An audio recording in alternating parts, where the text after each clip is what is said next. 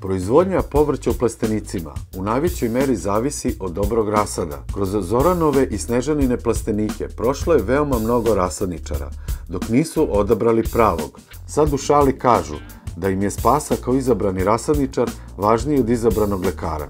Bavimo se, ovo je već sedma godina kako se bavimo plasteničkom proizvodnjom. Prvih nekoliko godina smo lutali sa proizvođačima rasada otprilike jedne godine smo bili zadovoljni, jedne godine ne i tako smo i prekidali tu neku saradnju.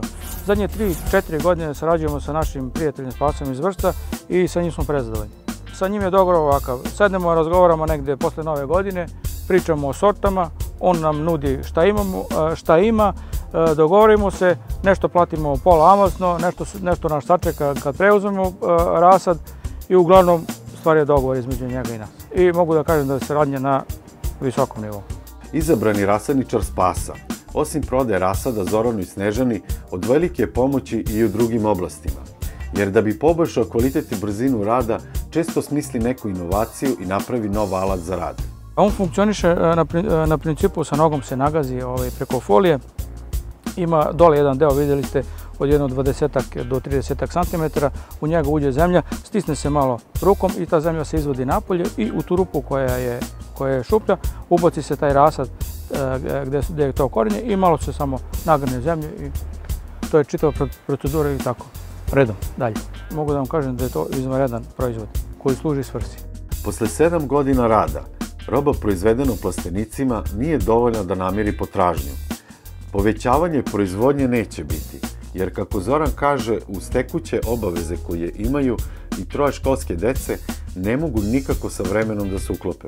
Mi imamo već e, uhodane te naše kupce koji od nas uzimaju robu. Mi se u toku dana čujemo i oni već za sutra imaju robu koju su naručili već sutra do 8 sati imaju je na svojim tezgama ili svojim prodavnicama.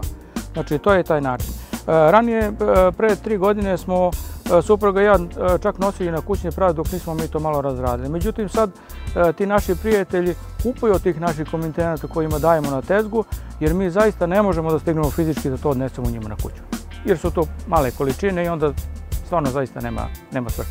Što se tiče zaštite paradajza, ona se, tretira, čak se može vidjeti na snimku, znači tretira se od, od rasada do početka berbe.